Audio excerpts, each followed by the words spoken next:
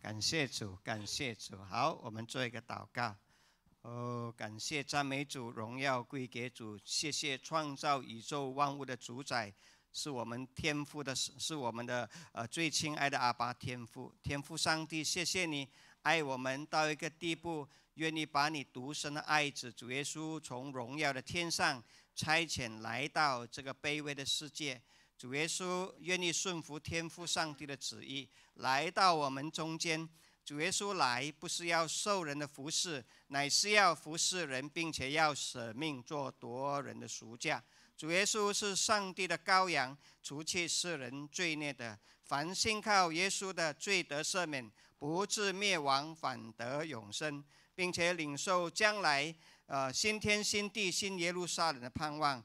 啊，并且领受将来要与耶稣一同作王的盼望，也这个时刻，呃，领受了你所赐下的圣灵，啊，住在我们的身体里面。圣灵是真理的灵，圣灵是能力的灵，圣灵也是圣洁的灵。当我们信靠耶稣的人，我们愿意过圣洁的生活，因为圣洁的灵在我们心中做工。当我们信主之后，我们愿意来追求认识真理，因为圣灵是真理的灵。我们这个时刻，求你赐给我们智慧和启示的灵，使我们可以真知道你，保守我们今天在你面前的学习。愿天父上帝，你的名得荣耀，我们的生命得到你的建立。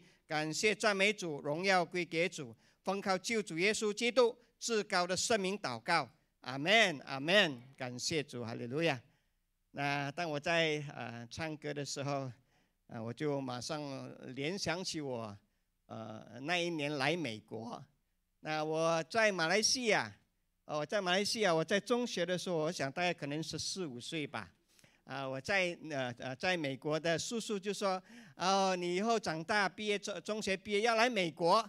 所以我从少年的时候十十四五岁就有一个美国梦，我想大家都希望美那时候是八十那个时候七十年代哈，七十年代啊美国梦哦美国就好像是一个天堂对吧哈，大家都想来美国，所以我就呃从小呃就就呃从中学的时候想我要来美国，所以我就好好的读英文哦每呃每天都做在呃就学英文的这个呃呃语言，然后试试讲英文等等。哇，感谢主哈！不过那时候我还没有相信耶稣的，我还没有相信耶稣的。那我现在可以讲感谢主，是因为上帝都知道我的生命哈。那我就在中学毕业，我就拿了不错的成绩啊，我就跟我的妈妈说：“妈妈，我要去美国读大学。”哇，我家我的家庭呢是呃不是富有的啊，妈妈为了要供我在美国读大学，她就跟左邻右舍亲朋就借钱。哦，那个时候前后都借了大概呃马币一百多千哈，啊七八十年代一百多千是很多钱的哈。哦，那个时候呃呃呃，那我就呃就是我从小那个美国梦，啊，一九八五年终于实现了。我记得应该是五月三十一号，我坐马来西亚的飞机，哦应该是日本吧，我停在日本，然后就飞来美国哈。那没来美国呢，我就开始我的美国梦了，对吗？我进来美国了。我就看看，因为我来美国，我说我要拿一个博士学位，我要拿美国公民，我要赚大钱啊！特别我的名字叫廖宏图，大展宏图，每个人都用我的名字，都没有给我那个版权费。啊，大展宏图，宏图大展，我就是那一种，呃，我自己很自信了，我觉得我是一个很聪明的人，所以就看我来美国，我要赚大钱，我就当时看，诶，我来的时候我是读那个 computer science，我当时电脑刚刚开始。哇，大家都在学电脑。后来来美国，发现原来美国人人都会电脑。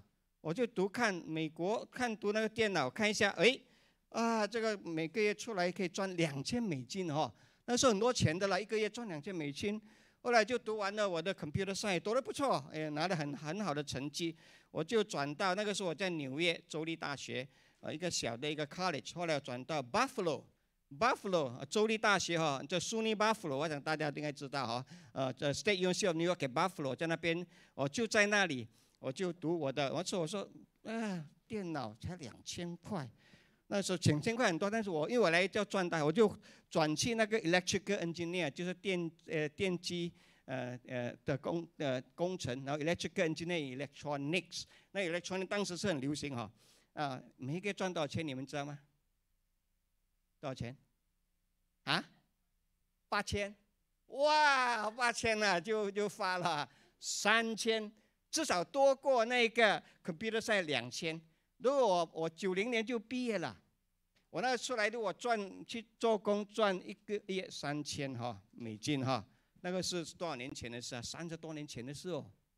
我现在如果 我说我继续哦去赚钱的话，我肯我可以相当清楚，在我可能现在是千万富翁了。啊，我是很有自信的人，我可以呃读的不错哈，感谢主啊。但是呢，往往上帝他说你的美国梦太小了。他说：“我要给你一个天国梦，天国梦比美国梦，美国是一个国家嘛，天国是整个宇宙嘛，哈！上帝要天国梦，他我给你，我怎么得到这个天国梦呢？那我就是在一九七八七年，我就去了教会。我的家，我是来自呃，这个我们呃在马来西亚都是拜拜的，我们都信那个道教啊，什么教啊，呃，没有信睡觉了哈，我就信什么教什么教都有，还有拜什么公什么公都有的。那我是基本上我都没有听过耶稣是谁，马来西亚我没有去过教会，我就来了，去了那个水牛城，在那读大学，哎呀，觉得很孤单，来这没有朋友，没有多少，那我就去大学的团契，就我就在那里，就人家就开始送给我圣经了。我第一本的圣经是英文的，那那一本圣经已经裂成三半了哈，因为我我是一个喜欢读圣经的人哈。后来我就长话短说，八八年我就信了主，二月底，然后二月底我信主之后呢，我的师母教会的师母她说：“宏图，你要是要洗礼吗？”我说：“我一定要洗礼，我要做一个真正的基督徒，我不要洗到你。”哎呀，就哦挂了一个牌，哦，我一个拿了一个身份就走了。我说我要做一个真正的基督徒。后来教会就给我上了主那个洗礼班一个月，从此呢，我就开始爱上了圣经。这是我洗礼，我的母会在水牛城哈，这是我洗礼的时候送给我的这一本圣经，到现在三十五年了。所以里面有些已经那个呃那个已经烂掉了，所以烂了就是裂了哈。然后这个是我的师母送给我的这个卡布哈，所以我的师母。呃呃，三十多年前我们在芝加哥读神学的时候，他买这个送给我，这个已经烂烂的哈，但是烂的，你说这么烂的还拿要？这个情啊，这个最重要是我师母给的，这个是我的母会给我的圣经，到现在，啊，所以从此呢，我读圣经呢就好像吃东西这样，我把读圣经当做是我的嗜好，啊，所以我从今我说我要做基督徒，我要就要做真正的基督徒。就我大学毕业之后呢，上帝就呼召我，他说：“哇，你这么爱读圣经，我就差遣你去神学院读。”所以从我从来没有做过工，我也没有赚三千块，我就被上帝邀请去大那个神学院读神学。哦，一九九三年毕业，我就回去马来西亚。你可以想象，我来美国八呃八五年到九三年，我在美国住了八年呐。上帝说：“哦，我很喜欢美国。”非常喜欢，但是上帝说你要回去马来西亚，我要差遣你回去嘛。你是马来西亚人要回去，那我就顺服咯。那我就顺服就回去。我虽然哦不能留在美国，但是上帝有他的办法哦。我在马来西亚二十五年啊，牧会，然后教神学。一二零一九年就来了啊。我来的时候我就有 green card。为什么我有 green card 呢？因为我的师母跟我呢在芝加哥结婚的时候，我们的女儿就生下来。在三十年前，我的女儿在芝加哥生下来。那我现在的女儿现在住在 Brooklyn 哈，她是美国公民。上帝呼召我们二零一九年重新回来美国。他说：“你的美国梦还没有完哦，你的天国梦。”所以就回来二零一九年呢，就回到这边，我来到这里哈。所以我就想到大家哈啊啊！我八五年我在纽约街头，我来纽约住了前后半年，我做送外卖。现在送外卖比较，我们以前骑脚车的。哦，冷天气冷，我知道我们打工赚钱，我全部都知道。你们可能现在走过的路，我以前都很辛苦啊。啊，我们在街头跟人家比，很多很担心给那个车撞，有些就送外卖的人给撞撞死的都有。我们也很担心，我们送外卖的人很多人要打抢我们，因为我们常常会有很多钱在口袋里面嘛。我们出去呃收这个呃呃呃换的时候就放放钱的，他们喜欢打抢我们，因为我们身上有几百块的，通常。呃，在在呃做送外卖的时候会有的，哦，那感谢主啊，呃，我在纽约呢，我也曾经被人家打抢过两次，有一次差一点被人家打死，哦，上帝那个时候还没有信耶稣，上帝保守我的生命哈。我纽约我知道，我骑脚车从曼哈顿从上走下，走上走下。我纽约对我来讲是一个很很熟悉的地方，三十多年前我就来了。我上帝要我回来啊，在这里啊，现在不是美国梦了，现在是天国梦。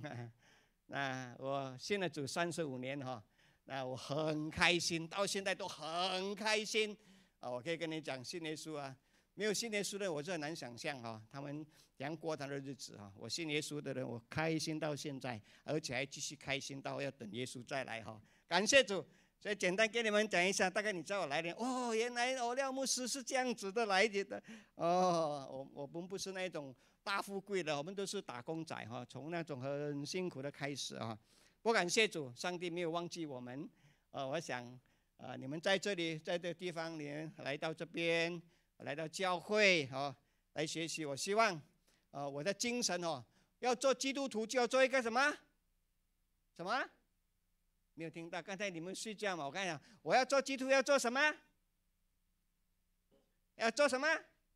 真基督徒啊，不是开玩笑的，就是所以我认真。我信了主之后呢，我每一天花可能大概有两个小时读圣经，我大概花大概一两个小时祷告。那是我信主之后，不是哪个圣经放在那边当做博物馆这样以后送去博物馆的。我读到我那过第一本圣经好像烂掉哦，为什么？因为我每一天群读，我就来读来读哈，感谢主哈。好，我们就接下来啊跟大家来分享哦，在上个礼拜，喂，这个。哦，对不起，他们 OK。那这个我们哦，我们快快啊带过去哦。这些都是我在上个礼拜讲的。上个礼拜呢，我讲就讲了一半哈，都还没有讲完，所以我们今天就会呃继续啊这个呃启示录哈。那大家简单的啊在这里给大家看哈。呃，这个啊，如果你可能有些是新的，呃，这个呃启示录呢是圣经里面最后一卷的书。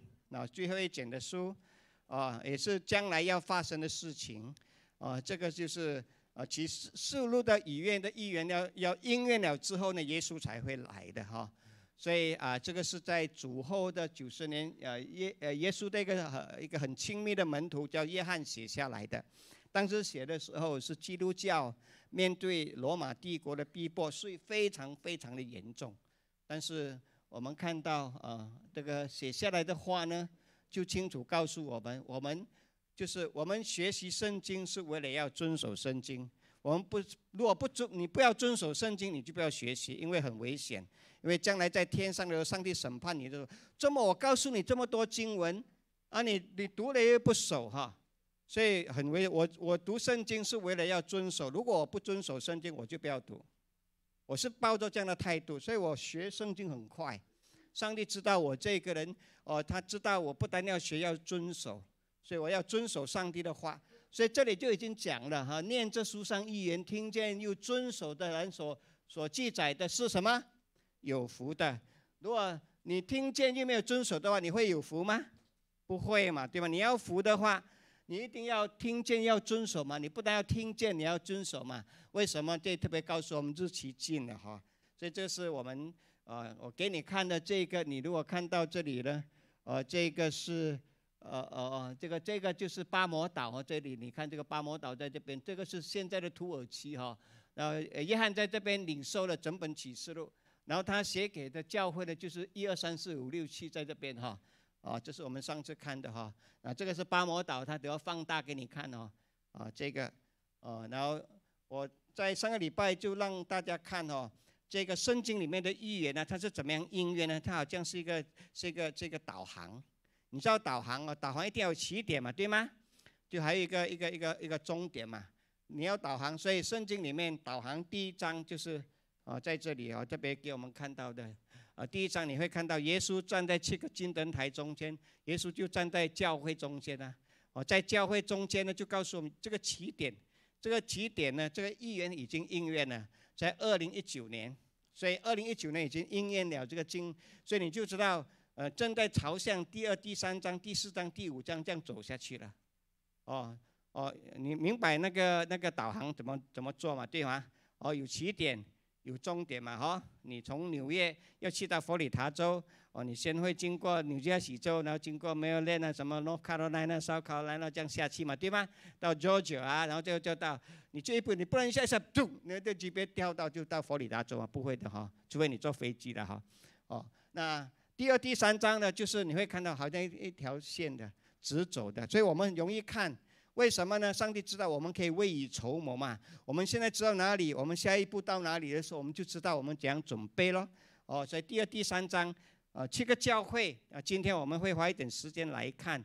呃，七个教会就代表全世界各地的教会要被圣灵来洁净。啊，洁净之后呢，就有复兴了。所以你读下去第四、第五章的这这个预言里面，就讲到呢，世界各地的教会要要要要复兴哈，被耶稣。啊，这个这个圣灵眺望起来怎么样呢？准备呢？然后第六章开始哈，就要看到世界大战了。这第三世界大战会来的哈，所以根据我自己的的预测哈，这个不是预言是预测，我推算呢，很可能这个第三世界大战就是爆发的时候，就可能我们要进到呃这个第六章的。在第六章你看的时候，在那第六章里面发生的事情呢？哦，人类的人口呢有四分之一要死亡。换句话说，如果有我现现在有八十亿的人口的话，在第六章应验的时候，有四分之一二十亿的人口在那一段时间会死亡啊，所以是很可怕。那你你要面对这种这么可怕的这些事情的来到之前呢，你必须要有做好准备，要准备好。会发生的，你没有准备呢，你不知道呃发生什么事，然后你没有准备，你心灵上很多时候突发的事情的时候呢，你会很惊慌嘛。但是你有准备，你就不会了。所以这个就是从第六章你继续读读读读读到十八章的时候，有很多灾难。那我这里看呢，至少有三到四次啊，跟第六章那个灾难这样可怕的哦，可能更可怕都有。所以。我们不用怕这个世界从某一个角度是好像走下坡，但是我们基督徒呢，我们知道之后，我们可以在这个最逆境中，我们怎么样继续勇敢的走下去？啊，这个就是这一个启示录给我们基督徒呢，啊，我们可以有有这个看见。所以那些没有信耶稣的人在外面的不知道，当可怕，他来的时候他们就很可怕，哦，就很就觉得哦这些事情，哦，所以。然后十九章就记录，就耶稣要从天降临哦，所以你读十九章，你会看到耶稣好像骑着白马这样从天降下来，哦，然后他要地上做王一千年，哦，然后一千年之后呢，然后有这个审判，审判之后呢，哦，有这个地狱之火，不信的人就要下到这个永有这个地里面受刑罚呢，我们信的人就要进去荣耀的新天新地哈，这个这个永远的天家，我们叫天堂哈。所以这个很清楚给我们看哦，所以我们有导航，我们就不怕。那感谢上帝哈，我在过去有四年的时间哈，上帝怜悯我，我有机会去领受启示录的信息，所以我就领受。我一共讲了讲了这个启示录，讲了两百五十堂哦，大概跟启示有关系的，是很多很多了的哈。所以我知道那个方向怎么走哈。好，那这个是一个刚才给你个一个大纲了哈，我们。呃，我们看到第一章，如果你有时间哈，也不时间，你有那个圣经，你可以翻开来看哈。我想当中可能我们有好些呃，可能信主不久或者刚来教会不久的哈，可能你对呃圣经不熟，我就花我就慢下来，然后给你来看这些新闻，你可以翻开你的圣经哈。那圣经里面你开打开的时候，启示录是你翻到最后一卷书。你你的圣经打开的时候，或者你的你的呃手机打开的时候，就最后最后一卷书叫启示录。圣经里面的最后一一卷的书叫启示录。那你的 hard copy 的话，你就翻到最后就对了。你就看第一章哈，在第一章里面呢，这个是你看到这个人哈，这个是使徒约翰，他大概九十岁的时候，耶稣就在呃这个这个意象中向他显现，然后就给我们看到这位耶稣是谁呢？啊，如果我读给你看哈，这个啊，在呃启示录的第一章，呃，我给呃我读一下哈，启示录的第一章，我从第十节开始，我读到十六节哈。这里说，当主日啊，启示录第一章第十节开始，当主日，我被圣灵感动，听见在我后面有大声音如吹号，说：“你所看见的，当写在书上，达以以弗所、呃，士梅拿、呃，别加摩、推亚推拉、沙迪、菲拉铁菲加、呃，老底加那七个教会。所以这个是七个教会的名字。我转过来，约翰说：我转过来看，是谁发声音与我说话？既转过来。”他说：“我看见七个，我看见七个金灯台，灯台中间有一位好像人子，身穿长衣，直垂到脚，胸间束着金带。他的头以发洁白，如白羊毛如雪，眼目如同火焰，脚好像在炉中锻炼光明的铜，众声音如同众水的声音。他右手拿着七星。”从他口中吐出两嫩的利剑，面貌如同烈日发光，所以这个是哦一样看到的。所以我哦呃这个哦呃把这些有关形容耶稣的哦呃这些的呃呃呃把它写出来哈。OK 所以这个耶稣呢，哦，他的呃头一发皆白，表达圣洁啊，白我们就叫圣洁哈。然后他的呃这个眼目如同火焰，就好像火将，好像要好像是审判，好像是公义哈。然后他就是呃这个祭司的装扮哈，这个呃这个他的长衣啊，通常胸间束着金带，就是呃这个祭司的一个装扮哈。他的脚好像光明的铜，锻炼光明的铜。这就是一个洁净的一个代表哈，然后这个声音如同众水的声音，那个声音而不是只像细水这样，那就是好像这样拿起来，你叫它瀑布那个那个水这样下来，很很很雄壮，那代表到权柄哈。然后它的这个。呃呃呃，拿着七星，我们都知道这个七星代表七个教会哈，然后也可以代表着天使哦，他的他有这个权柄，然后他口中吐出两刃的利剑，呃，这个剑呢可以当做保护，这个剑也可以可以杀害或者审判哈，然后面貌如同烈日发光，就烈啊发光，特别呃谈到将来也要耶稣要受审，要要审判这个世人哈，所以这些都是形容。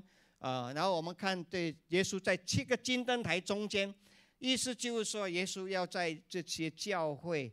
等一下，我们看那个第三章第第二章一节的，他在七个金灯台中间，他说行走，在走动，意思就是他在借着圣灵来洁净教会。哦，所以，所以这个是呃呃这个呃我们看到的。等一下我们会更详细来看一下啊。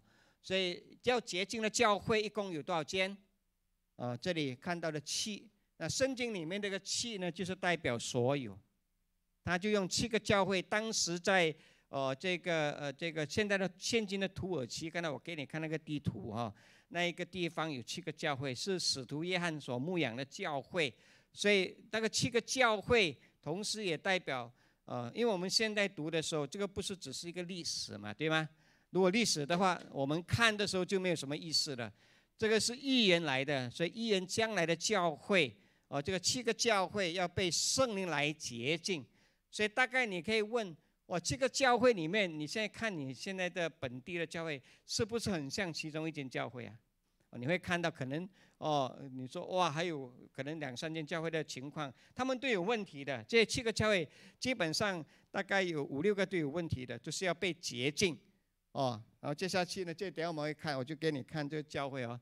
然后接下去呢，呃，这个是你再读下去的时候，我用这图给你看。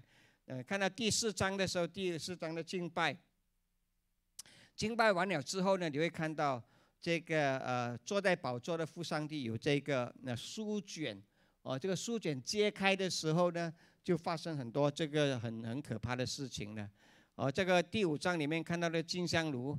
哦在那里就众生徒的祷告，祷告之后呢，我你会看到第六章的第一印，所以第六章的第一印会开始呢，就是跟基督徒祷告有关的。那你会可能会问，哎呀，牧师，你说第六章呃这么这么可怕，哎呀，我希望他不要快快来，对吗？对不对？有些人会这样嘛，是吗？你知道那个地方，如果你要级别告诉那个地方这么难走，呃，这么多这么多危险。你说哦，那怎么办？但是问题是你你要经你要抵达的终点呢，一定要经过这个。你刚才我给你看十九章是耶稣从天降临嘛，对吗？耶稣来是对对基督徒来说是一件最好最好最好的消息来的。但是那个十九章耶稣从天降临之前，我们要经过很多什么？很过的困难嘛，对吗？哈。对吗？这个也是很正常的事嘛，对吗？你要拿到冠军，你就不能够坐在那边什么都不用做，然后就拿到冠军。你说可以吗？你都讲都不可以嘛。所以同样的，在圣经里面也给我们看到，你要到最后最后那一个最荣耀的时刻，你要经过这个艰难。我想这个大家都听都明白的，一定要经过的。那我们不用怕，是因为我们有圣灵帮助我们，耶稣帮助我们呢。所以这个就是我给你看的这个啊，然后接下去呢，你会看到，呃，从第四章开始有敬拜，然后到第八章也有敬拜，然后第十五章有敬拜哈，这些都是一些在解经里面给你看到一些次序，帮助你罢了哈，啊，就是从第对，我就呃给你看这个第四章啊，呃的呃第五章之后，接下来第六章开这个气印，然后接下去呢第八章开始。然后再接下去有得有七个号出现哦，这七号出现呢，就有很多灾难。然后接下去有七个碗，你看到三轮的很可怕的灾难哦，一一波比一波更更艰难呐。如果你去看好好的看的话，我就给你看那个呃这个这个这个路线罢了哈。然后在过程中间呢，我们看到你怎样胜过这些灾难呢？就很多敬拜。第四章有看到敬拜，然后你看到第八章有敬拜，然后你看到第十五章有敬拜。但在这个这些灾难来之前，一定有敬拜，就是意思就是说，你的灵命一定要很强壮哦。每一个阶段，就是你就好像要要要要要，我们叫做呃，就是你好像要加油这样了哦。你这边从纽约开车到佛里达州，你不能一次过开下去，你的油全部还满满嘛，对吗？你开了这个呃呃三分之一的路的时候，你可能又啊又开始加满那个油了。所以那个那个敬拜有点像加油，加满油你就可以继续走，而走了一个段时间又要停下来再加油，再再继续加。所以那三次敬拜呢，从第四章、第五章到第八章，然后第十五章都有这些敬拜。所以这个就是上帝给我们加油站呐，这样我们才能够继续走嘛，走下去哈。所以这些路都不容易走。你看我这里给你比较看到，从第八章、第九章、第十章，呃到十四章，你会看到。啊，圣经里面形容有很多的灾难，哦，呃，前面的三年半，之后的三年半，然后到十四章等等哈，然后接下去呢，啊，我们再看这个啊，从十五、十六、十七、十八啊，呃，另外的灾难到十九章，你就看到开始有敬拜，更多的赞美赞美了。那个时候是耶稣从天降临的时刻了，降下来了。那最后呢，这个呃第二十章呃，在地上做王，然后有这个审判。啊，然后这个啊，进入这个二十一章的新天新地新耶路撒冷哦，这个将来的这个最美好的美好，最荣耀的荣耀哦，就在启示录第二二十一、二十二章。所以你会看到过程中间很多的经济困难等等，但是上帝有给我们去加油，加油，告诉我们每一个阶段，他有给我们一些经文，告诉我们怎么做，我们就能够我们灵里面就可以刚强。我们灵里面刚强走，我们就可以继续走下去，继续走下去。所以这个就是读启示的那个兴奋感在那边。上帝不会说：“哦，你没有油了，开车没有，你一直找油乱找找不到，哦，到底怎么办？没有。”上帝就是每一个站都给你加油。哦，所以我刚才给你看的那个哈，那个那个敬拜，就是好像每一站每到过了一个一个困难时候，他又继续给你加油，加油，加油，这样哈。所以读启示录非常好处就是这样了啊，这个是呃我刚才有简单带过给你们看的。好，那我们就开始看这个第一章哈。那第一章的里面呢，我们看的时候呢，刚才啊我已经读出来给你，就是耶稣站在这个七个金灯台中间嘛哈。金灯台的你看哦，这个金灯台有两个意思，第一个意思就是代表以色列人。第二个意思是代表教会，为什么我这样讲呢？啊，如果你回到这个耶稣时代第四集的时候，你问这些以色列人呢，你的国家你用什么一个？我们现在有国旗嘛？哈，就看到这个国旗哦，这个你看到哦，有五十个星，有红红的红白红白，哇，这个是美国国旗对吗？哦，你看得到，当时他们以色列人，他们他们的这个这个，我们讲他们国旗的这个代表什么？里面有个金灯台的，就是上面就金灯台是代表他们的国旗这样的。所以当时的这个约翰看到耶稣站在七个金灯台的时候呢，哦，你可以想象当时的以色列国已经被灭了哈。如果你读这个历史的时候，以色列国在一呃主后七十年，整个圣殿也被毁掉，整个国家就被这个罗马帝国吞灭，就是吞灭掉，完全就是他们就分散到呃全世界各地了。所以这个国家以色列在主后七十年不存在的。突然间，耶稣出现的时候，他站在七个金灯台中间。你可以想象一下，当时的约翰，他的国家都灭了，圣殿都没有了，七个金灯台去了哪里？找不到了，不懂去到哪里了，谁拿走，他们可能也不知道了。意思没有，突然间耶稣出现，金灯台还在我，意思就是说，那当然有意思，就是说将来以以色列要复国哈，因为七灯金灯台出现嘛，就说哎。我的国家都不见了，怎么还有这个灯台出现呢？意思就是说，将耶稣去圣经有预言，将来以色列要立国的。然后另外呢，这个七个金灯台，然后耶稣在第二一章二十节，你看一下哈，第一章二十节那边解说，耶稣说这七个金灯台是什么？就是什么？七个教会，看到吗？那我们现在哦，特别我们信主久的人，我们很快。联想这个金灯台就是教会，没有错。但是约翰是耶稣最亲密的门徒，耶耶稣终要替跟他解释这个这个七个金灯台是代表七个教会。如果他都知道是教会，但是对约翰来说，他是犹太人，他是以色列人，金灯台是代表我的国家。当时还不是讲教会的，所以耶稣讲的时候，七个人哦，这个金也是教会呀。后来我们后来呃信主的人一读的时候，因为我们太快读进去，哦，就代表教会，对没有错。但是你要想当时的约翰领受这个意象的时候，金灯台对他来讲不是教会的，他没有这个概念的。当时是没有这个概念的。他哦，耶稣讲，哎，sorry，啊，不好意思，突然间按错了，哎呀，OK。耶稣就跟他解释，如果他知道这金灯台是教会，为什么耶稣要解释说这个教会？然后，如果你是这个灵粮堂生命和灵粮堂的会友，你你都来到这边，你常常来的，然后哦，你就告诉他哦，在四十五街几号，你知道吗？那个是一个灵粮堂。那你说什么知道？我就那边的会，我就知道在那边聚会的吗？明白我的意思啊就不用解了嘛，对吗？就不用告诉，不要重复跟你讲，那个是灵粮堂的，我怎么不知道？我是那边会有那边敬中敬拜的。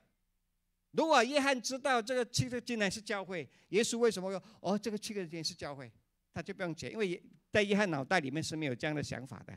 后来耶稣哦原来是代表教会，所以你会看到这里咯。然后我们看在这里看下去哦，你看到耶稣。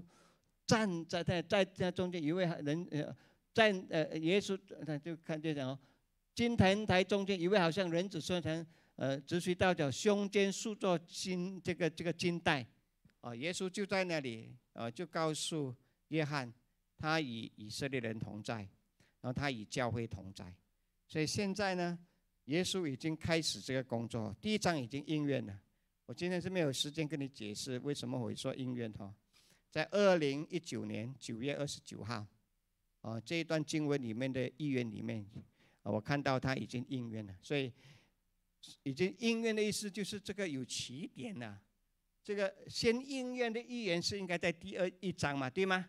然后接下来才第二章、第三章嘛，对吗？哦，就这样子的次序。你不会说这个预言先应验第四章、第五章这样啊？不会哦，它先从第一章开始，然后到第二、第三章。然后才进入第四、第五章，这样慢慢下去。所以我们现在在第一章，离耶稣要来，呃，这个呃第十九章从天降下来那个，还有十八章要应验哦。看到没有？看到哦？啊，那我们就要去看哦。圣经里面讲的预言跟这个实事发生的时候，你怎么样对号入座？你怎么样让这些经文里面所讲的，可以在我们这个时代应验？这个叫做遵守预言嘛？你怎么样遵守？就是你要看到这个预言的成全啊，这个叫做遵守预言呢啊。所以接下去呢，啊，这个给大家看的。那为什么主耶稣呃选择写给七个教会？那那当时在罗马帝国，只是这七间教会吗？肯定不是啦，肯定有好几百间呢，在不同地方很多了。那耶稣选这七间，那因为这个期间，第一也跟这个约翰有关系的，第二代表所有的教会，因为圣经这个“七”这个字是完全就所有。为什么不是五间？为什么不是六间？为什么不是八间？不是九间，而是七间？所以你一定要问：为什么耶稣？哦，而且在这个地方不只是这个七间罢了，可能有二二三十间的小教会在旁边的。为什么就选七个？哦，明白吗？就好像在纽约这样，突然间选出七间教会，你说纽约有几百间教会啊，对吗？可能上千都有。为什么七？他只要带出那个信息，然后这个七个教会里面呢，所有的问题呢，你都可以在所有的教会找到。啊，那为什么耶稣不亲自写给他们呢？那我想，哦，耶稣亲自写给教会，哦，那跟耶稣透过约翰来给教会很大不一样，因为约翰是那个教会的牧者来的嘛，哦，他是使徒哈，所以耶稣是直接呃透过哦他的呃最亲爱的门徒就约翰，然后接下去你会看到这个七个教会哈，我给你看，就是第二、第三章的时候。它就是有一个一个模式啊，每一个都有一个模式的，就是哦，每个教会耶稣，每个教会耶稣都告诉他他是谁，他先介绍他是谁，然后告诉这个教会有什么问题，然后他们怎么样悔改，如果他们悔改，他们怎么样得到得到赏赐，他们不悔改，他们怎么样得到审判，然后接下去圣灵就说我已经告诉你了，你要不要遵守？就这样啊，所以这个第二、第三章呢，哦，你会看到这个七个教会呢。啊，都是这样的一个格式啊，所以我现在读一个教会给你听哦。我们读了之后呢，可能我们就呃，我的师母哦，呃，等一下会上来啊，给你问三两个问题，给你们轻松一下哦，看看你们刚才有没有打瞌睡，或者在那边睡觉没有听。啊，多少等等一下教你，我会答的时候，哎，我不知道，因为刚才我在睡觉。OK，那这个是其中第一间啊，第一间教会啊，耶稣。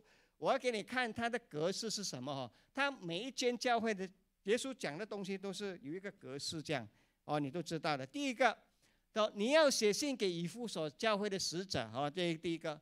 然后你看第二的时候，第第二章第八节，你要写信给斯美纳教会的使者说，你看到一模一样哦，哦。然后接下去呢，耶稣就会讲，他就介绍他是谁。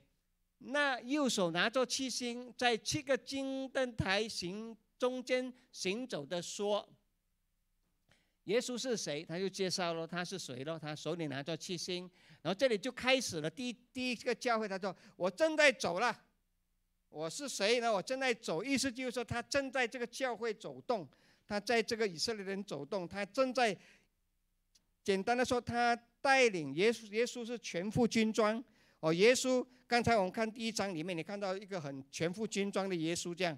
他在带领着教会哦，他在七个金灯台中间行走。你再看下去，你看你要写信给圣教教士说，那首先幕后的舍诱惑的说，看到吗？他介绍他是谁嘛，对吧？耶稣每一次都介绍他是谁，告诉这个教我是谁，每一次介绍都不一样哦。然后接下去你看，哦，接下来你看，我知道你的行为啊，劳累忍耐，也知道你不能忍容恶人，看到吗？我知道。所以教会所有的教会所有的信徒，耶稣一百本身的知道，你是不能够隐藏的。你说，哎呀，我不要跟耶稣讲，他就不知道。我祷告的时候，哇，我里面一些东西我是不能给耶稣看的。耶稣说，你给不给我看，我都看到完了。那如果这样子的话，你明白吗？你你要你你能够躲避吗？哦，我知道你的行为，然后接下去另外一件。第二章九节，我知道你的患难贫穷，也知道什么什么，你看到没有？一样样的格式哦，看到吗？回到这里，然后他就告诉他们要怎么样哦。他特别提到他们是已经起初的爱心离弃的，所以你当回想怎么样怎么样哦，叫他们要悔改。如果不悔改的话，哦，就有什么事情发生？这里就讲了。然后看到没有？哦，我知道你的行为，看到没有？啊，这里就就告诉他们的情况。那这个教会算是一个好的教会，所以这里耶稣没有叫他们去悔改，反而叫他们继续要要坚持，因为他们要继续受逼迫。他他们现在要坚持到底，啊，不能不能够停留在呃，只是呃呃呃逼迫里面哈，呃，这个逼迫跟多长呢？可能是接下来的十字，他们要继续坚持。然后接下去前面这个事他就讲了，然后圣灵向圣灵向宗教所讲，凡有我的就应当听。哦，你看这个第二间教会是没拿，圣灵向众位所说的话，凡有我就应当听，看到没有？啊，一模一样。然后得胜的，就是说，意思你遵守的话，我必将神的言中生命树的核赐给他吃。得胜的必不受第二次死的害，看到没有？哦，你看到吗？两间教会啊，其实每一间教会都是一样的，我只是用这两间教会的模式来来帮你了解啊哦，所以这个是第二、第三章，所以基本上七个教会里面呢。比方说，如果你是这一间教会，以夫所教会，他们面对的是什么问题？他们面对教会很多施工，很努力，很努力，很努力去做，做，做，做，做，做，但是他们不是出于对主耶稣的爱，出于对人的爱而去去做，那种做的时候，很多时候就会埋怨，对吗？哦，你会看到就大家都在忙忙碌碌，你不知道我这样忙吗？哦，你不知道哇，有时候你碰到什么，他就会发脾气，讲很容易。他也很忙忙碌碌的，你不知道哦，你不知道，这你就知道他已经失去了起初爱心。所以这个教会很多教会都进入这种情况里，所以我就简单把你给你看这两个教会的这种情况。所以第二、第三章的教会呢，每一个教会大概是面对这些的问题，需要去处理。哦，所以耶稣在这里告诉教会。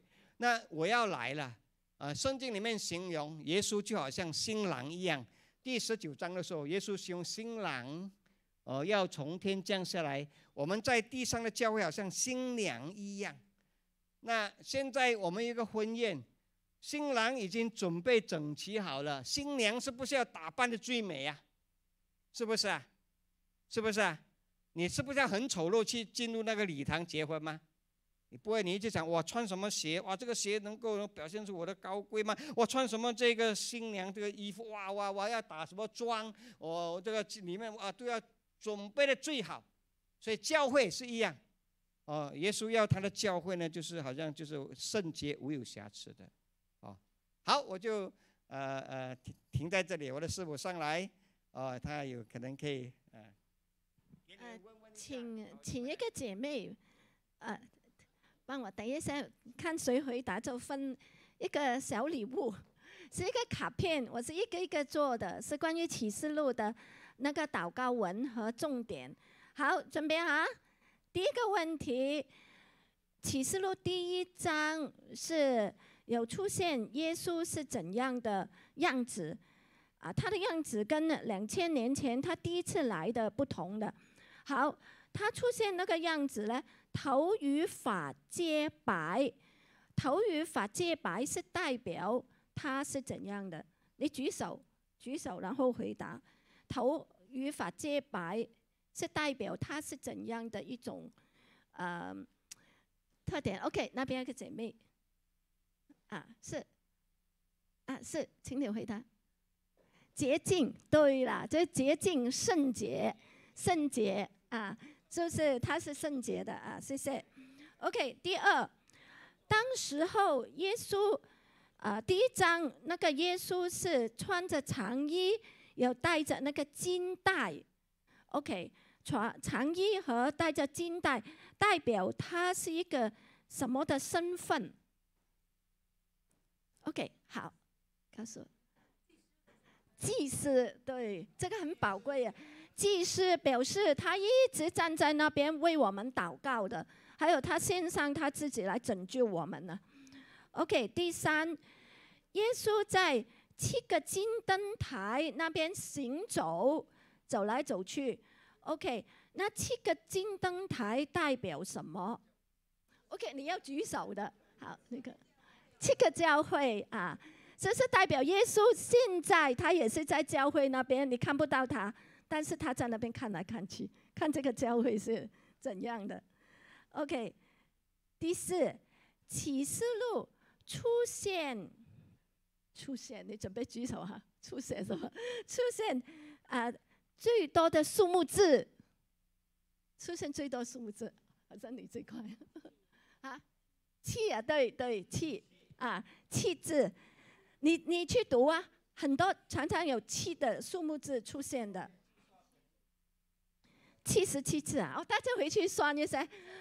如果那不是错了，谁知道跟他讲，叫他给你礼物，你算一算是不是七十七次？他说：“OK。”第五，嗯，第五章那边说有一个金炉啊，里面是放着香的。OK。那个金炉是那个长老拿着什么？长老拿着那个金炉，里面有香，啊，四活物也拿着那个香，金炉里面有香，那个香是代表，哎，你是不是要举手？啊，众生徒的祷告是，我好像问题还没有讲完，他已经把手要举起来。哦，对，这边的是吧？因为那个对这个灯呢。OK，OK，OK，好。啊，第六题啊，三轮的灾难，哇，重复三轮的那个灾难，在启示录里面，三轮的灾难那有点可怕。但是每一个灾难之前呢，都信徒都有做一件事情的。OK，敬拜，对对。啊，你要先举手啊！你答你答的对，但是你要先举手。OK，OK，最后最后一个问题了哈，嗯，第二、第三章呢是讲七个教会，就是每一个教会啊的事情啊有什么问题？OK。目的是什么？就是约翰把那个信去交给那些教会，目的让他们看了信的时候，希望这些教会是怎样呢？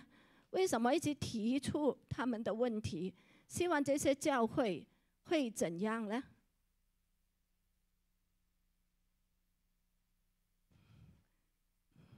不难的，你不要想得很深奥啊，就是告诉你问题，就希望。哪里？OK，好。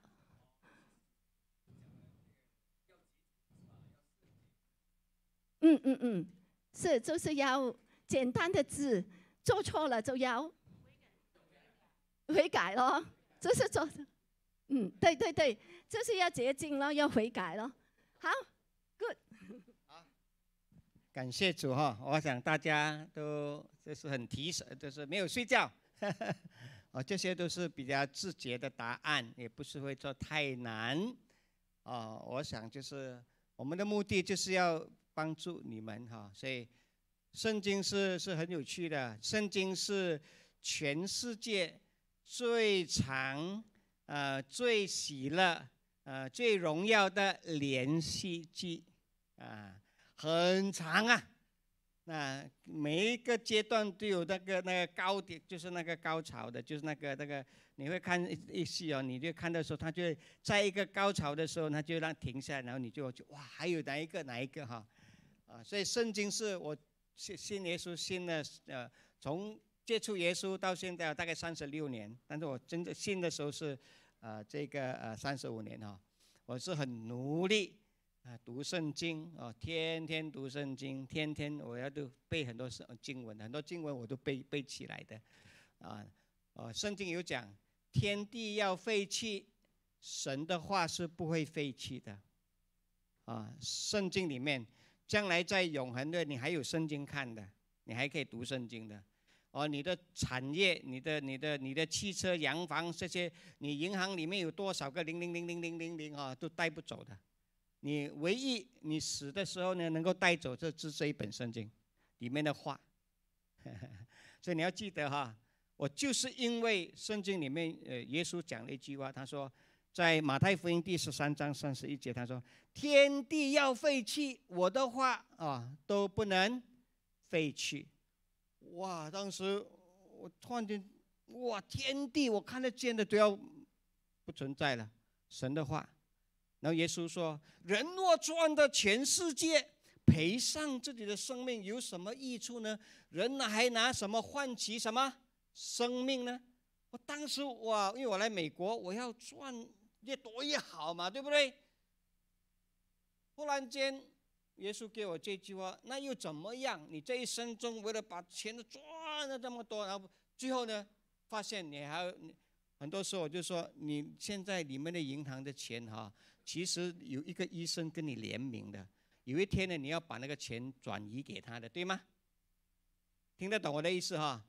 啊，你做工四十年后啊，突然间不小心中了一个癌症，你没办法了，你要去医医医，所以那个你存的钱呢，就是医生已经联名了，就是把它穿设过去给医生了。你你一百万那个为了医你的病，一百万就把它转移给医生了，对吗？你这一生中花四十年赚一百万，然后最后医生说，哎，送过来，因为那个我有联名的。我当时的时候也讲这句，我回想起当时那个时候，耶稣就给我问，请问这一排街。有几十间哈，你能够赚多少间这里的钱？在这一排街，哦，有四十间的这个这个这个这个这个房屋，全部都是你的。我耶稣说，人若赚的全世界，我，我现在连这是一排街四十间的那个屋子我都赚不到，最多赚两间三间，对吗？你一生中还有多少几十年？所以很神的话呢，就是好像。一个人鼓的，啪打下来，哇！我说我不要，我不要，不要，我这一生中我要活的，我要活得很开心，不是那个钱的问题哦。这很多话，耶稣的话，给我很大的震撼哦。好，那这呃这个教会以弗所教会，还有这个我们这里一共以弗所教会、斯梅拿教会、别加摩教会、推拉推拉教会、沙迪教会、菲拉铁菲教、老底教教会期间，我给你看的呃只是用两间来。做解释哈，那单单我们看这个，呃，这个第一个教会的时候，这里我想我花一点时间在这里哈。那这个教会呢，大概啊，约翰写呃这个这封信的时候呢，大概这个教会建立之后的三十年，啊，这个以弗所教会呢，啊，大概在可能呃。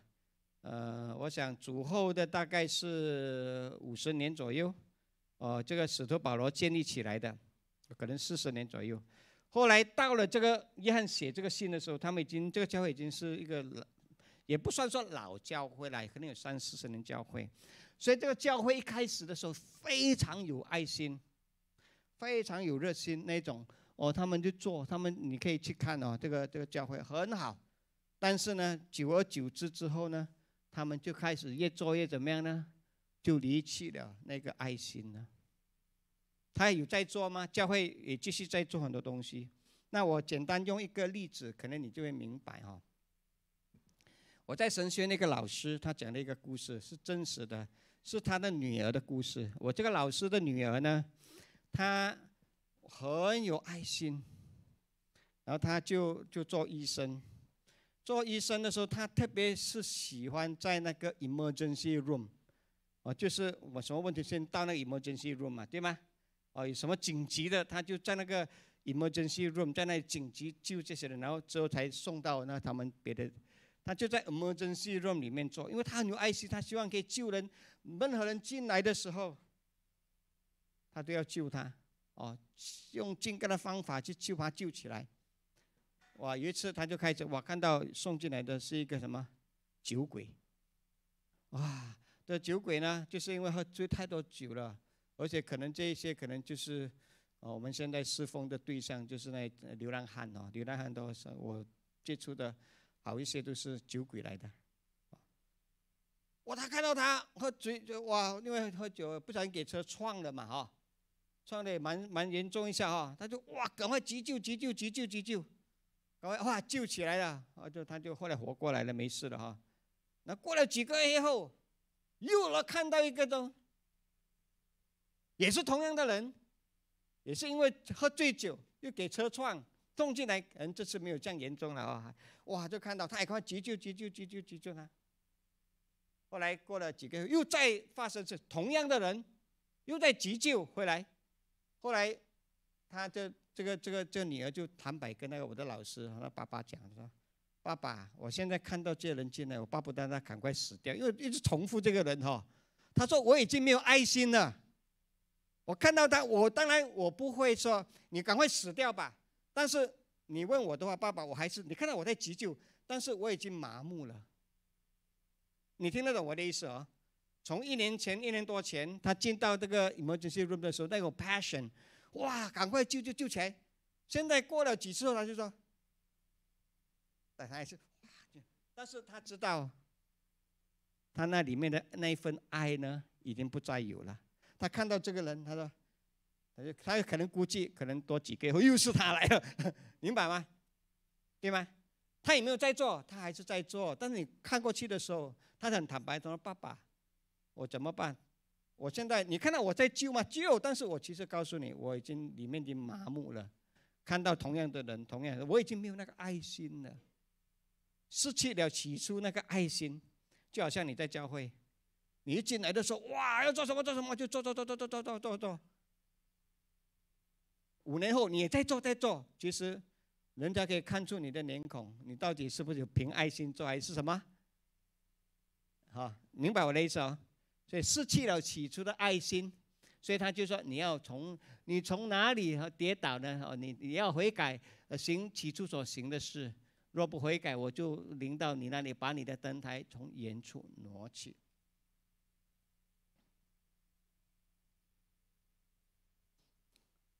那你们要为这个教会感谢主哈！我知道当中，哦，你们可以来到这里哈，他们也欢迎你来，对吗？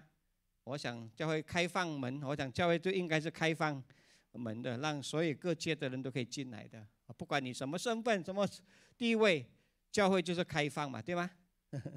让你可以进来，啊，何况我们教会是能够解给你救恩，这个比地上所有的东西更重要。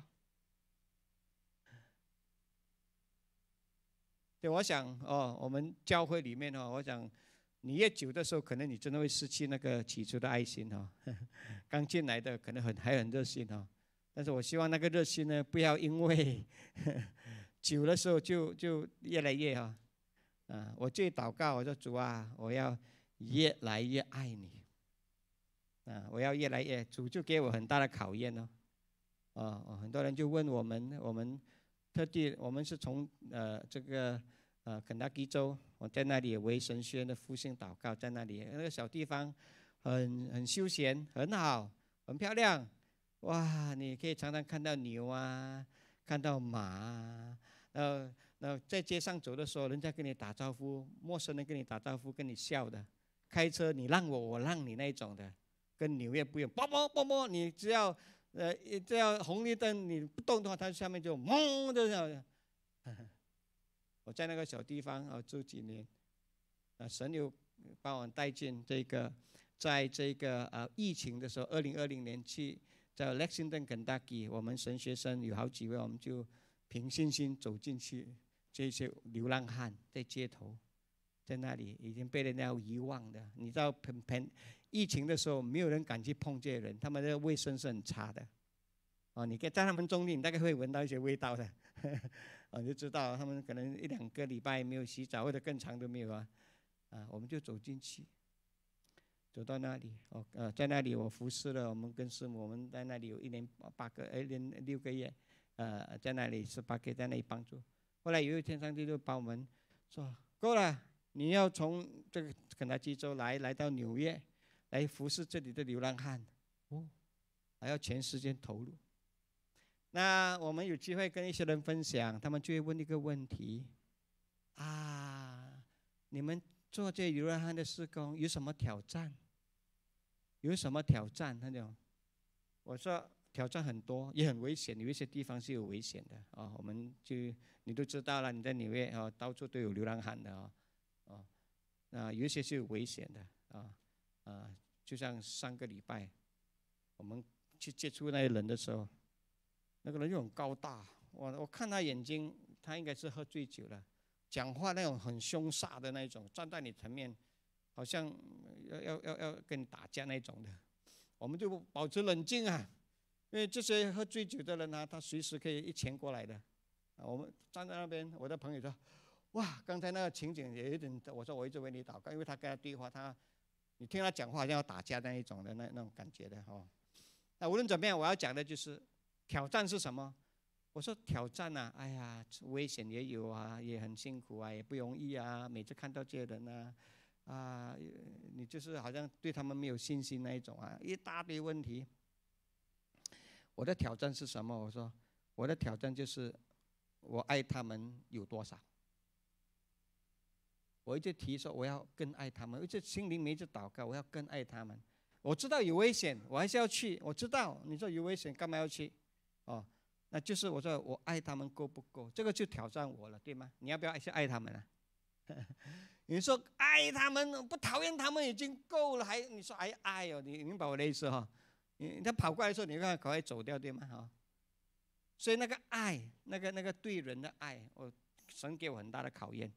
我要第一，你服侍这些人没有回报，这些人一直出钱的，出爱心出钱什么就出的，他们什么都没有的。嗯，再加上呢，上帝带领我去那一群的人呢，是讲西班牙话的哦。我说上帝，你到带去英文讲，我就容易一点呢。我现在要拿每次，我现在还在学西班牙语，你知道吗？因为为了要跟他们沟通，大部分都不会讲英文的哦。连 How are you？他就啊，你好像讲一个一个一个一个外星人的话，How are you？他就听不懂哦。你我看你最差的英文都听得懂了，对吗？哈，这种这又又要去付钱，要付爱心，然后又没有回报，一大堆，你要做吗？这个就是考验哦，我们讲的这个爱心哦，不容易啊。你的你叫我选的话，我当然不会选这个了哈。但是因为爱嘛，耶稣爱嘛，他用无条件的爱我们。耶稣从荣耀的天上，他看到我们这些在地上的罪人，耶稣说：“我不要去那种罪恶的地方。如果耶稣没有来救我的话，我现在在哪里？三个地方你找，第一就是在坟墓，你就找得到我的；第二不是就在监牢；第三或在精神病院。”我每次跟人家讲的，我如果没有信耶稣呢，这三个地方你去找，肯定找得到我的。如果没有在坟墓那边，你去找精神病院；没有在精神病院，你去找监狱，一定在监狱里面的。我就这样。那因为信了耶稣，呃，就完全不一样了哈。感谢主啊！所以给大家一个考验哦，这个以弗所教会，那当然还有其他教会，我就不一个一个讲了哈。啊，那个这个教会的这个，这个是一个要继续受苦的教会。哦，所以你说，哎呀，主啊，我已经很苦了。他说要苦上加苦啊，这个还不够，你看到吗？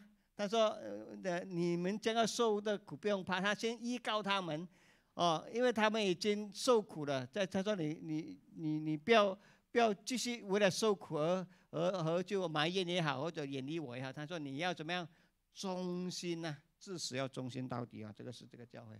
好。那接下来呢，我要跟大家慢慢来看哈。那这些我，如果你刚信耶稣，可能你就可能抓不到我要讲的哦。你信主耶稣久了的，可能你会抓对。因为我就想当中可能有些信主很久的哈。耶稣在七个金灯台中间行走哈，这七个金灯台包括就是教会的传道人，也包括天使的哦。耶稣有对天，耶稣会差遣天使来执行任务的，啊。七就代表所有的教会中间行走的的表达，耶稣在带领，在洁净，在牧养教会。然后第一呢，要教会合一。OK，现在哈，如果你看新约书信，新约书信通常是写给一间教会嘛，对吧？对不对啊？书信就是好像这个呃加拉太书就写给加拉太教会，对吗？哦，这个呃，菲利比书就写给菲利比教会，然后还有什么？啊，这个帖撒罗尼迦教书就帖撒罗尼迦教会对吗？通常书信里面呢，都是写给一间教会。那在这里呢，呃，启示录其实也是书信来的，但是这个书信特别长，哦，比一般的书信长，它是用书信的格式写的，所以你去你去看。他有问安呐，他有随时写信人呐，问安呐，然后接下来的内容啊等等哈。那奇怪，在这个书信里面呢，本来是一个教会，但是却发现呢，有还有另外六间教会。那我要慢慢给你去思考一个问题，这个我不知道你会听得懂，不过我还是尽量解释哈。现在，比方说我是以弗所教会的，呃，信徒哈，我我看了启示录，哦，我们失去洗漱的爱心，哦，我们要悔改，OK，我们要悔改呢。如果没有悔改的话，主要把我们挪去悔改，我又怎么怎样可以怎么领受神的祝福这样？哦，那我就尽量做，我是以弗所教会嘛。但是接下来呢，从第二间教会哦，你看有一共有几间教会啊？斯美纳、别加摩、推啊、推拉、沙迪、斯拉铁菲、老底下，我还要知道他们六间教会的问题哦。那，你慢慢听得懂我在讲什么？你他现在耶稣，因为他们以弗所教会收到这一本启示录的话，里面还有包括六间教会嘛，对吗？六间教会的情况，对不对啊？对不对啊？就好像现在你在家里面，你收到来自生命和灵粮堂 Flushing 这个分会的呃呃消息，你不单收到消息，你发现那个信里面还有六间教会的消息也放在里面，也蛮长的，哪里奇怪？你说林牧师，你这么把另外六间教会的消息写在里面？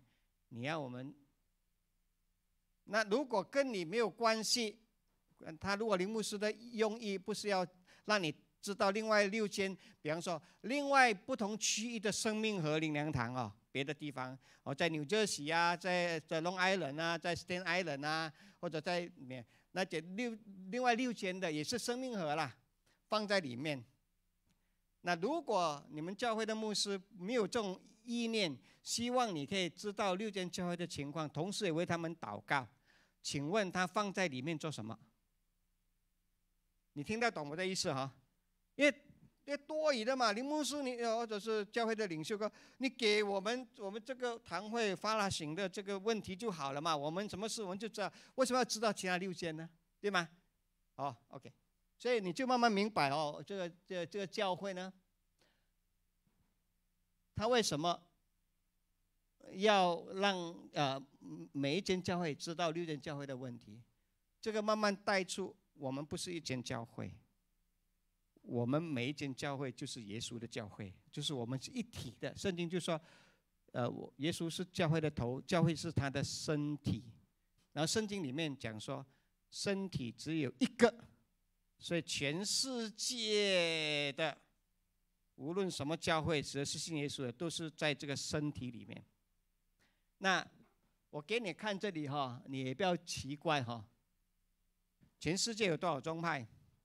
哇，你说哦，生命和灵粮堂哦，我不知道是不是一个宗派哦，就一个一个很大的组织，很多不同名字嘛哈。呃，其实全世界有四万个宗派啊，基督教里面有四万个，这么多啊，是啊，很多教会建起来都是他们不同背背景情况命名的，啊。那他要带出的这个，在这里要很清楚的说，我们要彼此守望。所以，上帝现在给我们这个呼召呢，我跟我的师母呢，二零一九年从马来西亚，我们我在马来西亚有侍奉，我是神学的老师，我们放下我们的在那里的工作，我们来了美国，然后上帝给我的工作呢，就是你要到教会去，然后他没有说。是华人教会，是西班牙教会，是英文教会，哦，是黑人教会，什么教？他说你要去教会，所以现在我的侍奉对象就是所有的人，所有的基督徒，我所以我可以到哪里去？我现在去去西班牙教会，去什么教？为什么我会去他们？因为他是我的弟兄，他是我的姐。我现在的是国度观念，不是地方性的观念。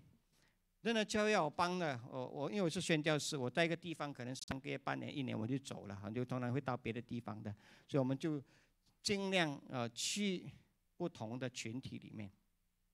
在过去这几年来，我们侍奉的对象很多是讲英文的，我是用英文跟他们讲，就用英文，不是用中文的，多数是英文的。现在又开始学习西班牙话，那华我还华语会讲啊，所以有需要我就去。所以我们现在不是你是哪一个教会，我说只要你是教会，神要我去我就去了，管你是什么黑白黄什么黄我不管，因为我观念里面只有一个教会，一个身体啊。所以我希望我们真正有这种，啊这个观念啊，我们要突破那个只是地方性的教会，所以要开始，所以有时候会鼓励。你不要单单只是注意灵粮堂、生命和在店，你就问，在我这边大概可能两三公里的啊教会里面，上帝祷告，把他们的问题给我知道，啊，我要知道他的问题，不是要去批评他。我之所以知道教会哦有这个问题有那个问题，不是要你去批评他，而是要你去为他的问题来向上帝祈求祷告，明白吗？你把他。所以我去哪里，当然每个教会都有问题，啊！但是我去，我知道，所以我在我的祷告里面呢，我的祷告是为全世界的很多基督徒祷告的。我的祷告那内容里面，很多牧师可能我都没有见过他，我看过他的名字，圣灵就感动我，你要为他祷告，所以我就跟他为他祷告好几年了。我不认识他，我没有跟他有交情，那圣灵说你要为那个某某牧师祷告，我就放在我的祷告里面了。我就提名，然后有时候注意他的那个消息，然后他教会。那感谢主啊，好一些呢。我祷告的都神都看到应愿了。有一些在很在土耳其牧师是做宣教出来被抓被关在监牢里面，我看到名字，我就开始为他祷告，神释放他。后来一年多后就就离开监狱了。啊，我我没有见过他，我不认识他，我他也不认识我的。哦，上帝就给我我我们要就是。我们是信耶稣的人，我们就是一家的，所以启示录就是要教会全世界呢，再不要分彼此那种，有这更多的联系。所以这次哈，这个疫情对吗？哦，你注意到这次三年疫情里面，我们很容易就网络联络哈，所以我现在很认识好一些的朋友呢，就是在网络认识的。然后听有时候讲起话来说，好像认识很久的那种，根本没有见过面的人，可以在不同国家都可以。好像一一见如故那一种，哎，突然间我觉得好像是你跟你好像很久的朋友，其实我们其实第一次见面，哦，所以上帝已经开始，呃，把透过这个疫情呢，在这个线上大家连线，全世界可以连线起来，哦，所以感谢主啊，所以这个是疫情所带来的教会的好处，哦，就是我们可以连是连线到很多全世，哦，全世界的这个呃教会啊，所以，所以。要大家哦，这个三七个教会里面呢，我们要守望，我们真正彼此相爱。然后另外一个呢，是一个叫做家，哦，家的那呃家庭小组的牧养模式。所以如果大家还回想起这三年的疫情里面，哦，常常要在这样的实体聚会，哦是少之又少嘛，对吗？多数都是在家里面聚会小。啊，所以其实呢，如果你看启示录第六章的时候，你就回去看哦。现在还没有，可能我们要到，呃呃下一次哈，不是下一次，在最后一次哈，啊，这个月底的时候再看，可能第六章给第七章给你们看。明天下个礼拜我再看第四、第五章啊，啊，让你可以更多呃准备。那你注意哈，这个家，疫情的时候能不能实体？不能嘛？你看启示录第六章的时候啊，有战争，有疫有疫情，有饥荒等等，对很多灾难有教会逼迫，那个政府越来越逼迫教会。请问，大型的聚会可以吗？不能的。如果有战争的话，请问你可以到你的教会敬拜，特别你教会是很大，一两千人做的，你要等那个纸。炸弹炸到你的教会来啊！他们这样多人聚会，那个那个敌人都是总是要攻击那些去，他要打你的国家的话，他就总是会乱乱杀无辜的嘛，对不对？他也不管的。你去问乌克兰，过去这一年多跟俄罗斯战争，他们他们敢公开在这种聚会吗？不敢，怎么躲在哪里？basement 对吗？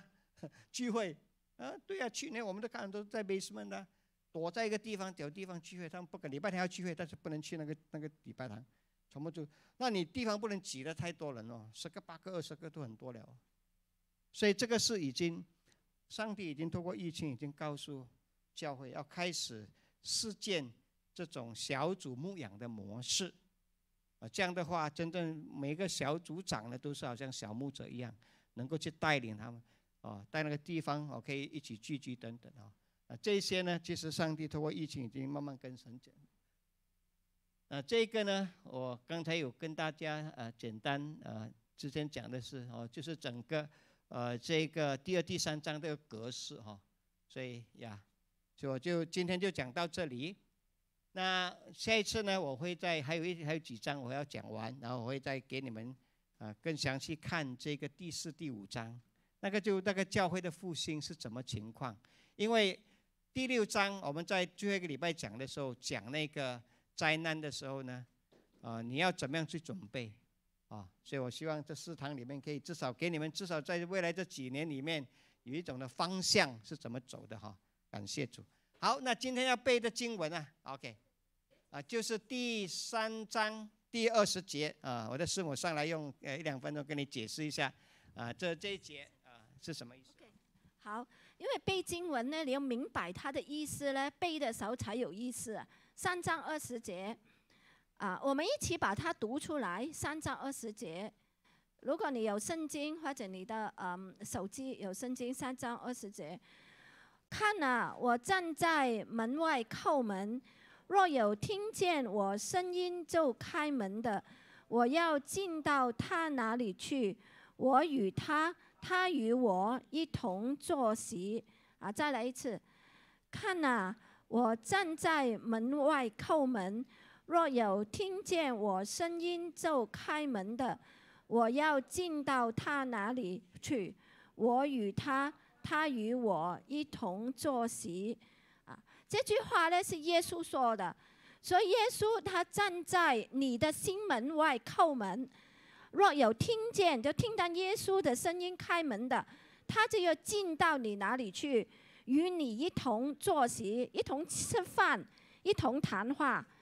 OK，这个是对基督徒，你听清楚哈，不是那个人还没有信耶稣，是信了耶稣。信了耶稣，有时候你没有开门的，你做你的事，耶稣一直说你让我帮你啦，啊，你听我的话啦。但是你没有开门给他的，就是你说你信的耶稣，所以那这个呢是耶稣站在你的心门外。如果你开门的话，他跟你一起吃饭，坐席就是一起吃饭，他会做你的好朋友，去帮助你的。OK，所以这节经文啊背诵，好。好，我们一同站立，我做结束祷告之后，你们就要分小组去背了，对吗？OK，感谢主，哈利路亚。感谢赞美主，荣耀归给主，谢谢主，天父上帝，你的爱是何等何等的长阔高深。